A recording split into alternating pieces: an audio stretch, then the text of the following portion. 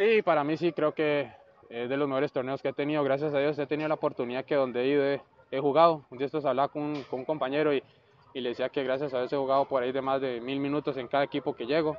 Es mi mejor torneo en anotaciones y en regularidad, creo, por la fase cuadrangular que estamos.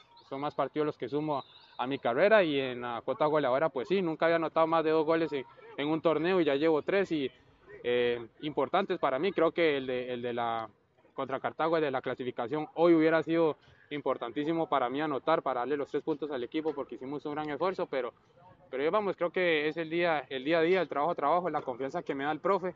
Por ahí me ha explicado bastantes cosas que tuve que mejorar para jugar de libero y, y él me da la confianza de jugar ahí, entonces tengo que responderle con, con la teoría del campo. Sí, al principio eh, para mí era una bendición eh, poder anotar y darle los tres puntos en ese momento al, al equipo. Eh, sabíamos que estamos ya siendo líderes de la cuadrangular, pero por ahí Coliendo nos anota un golazo, bien. Eh, por ahí contra el partido pasado contra Limón en los tiros de esquina también creo que hice una volea y le pegué mal.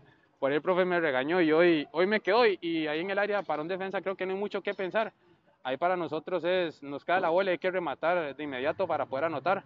Y así fue, la bola me cayó y le pegué y gracias a Dios pude anotar, pero me voy con el sinsabor de que, de que hubiera sido un buen gol para los tres puntos, pero nos vamos solo con un punto.